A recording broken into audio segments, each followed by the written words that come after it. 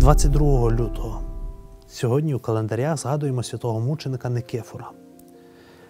В Антіохії Сирійській жили у великій приязні два мужі християни священник Саприкій і мир'янин Никифор, що значить побідоносець.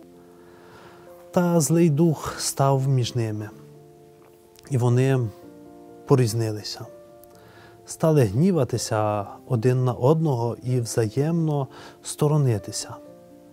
Однак, коли Никифор вичитав у святого Йоанна, що той, хто ненавидить брата, є чоловіковбивцею, то зворушилося серце його, і він наперед послав до Саприкія попросити в нього прощення. А потім і сам прийшов, припав до його ніг і благав його, прости мені, Отче, Христа ради. Та серце Саприкія кипіло ненавистю, і він навіть глянути не хотів на Никифора.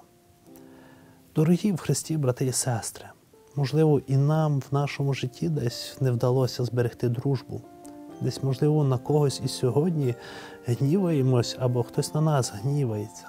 За прикладом святого Никифора, навчимося просити пробачення і навчимося лагіднити ті різні напружені ситуації в нашому житті, в нашій дружбі з нашими ближніми.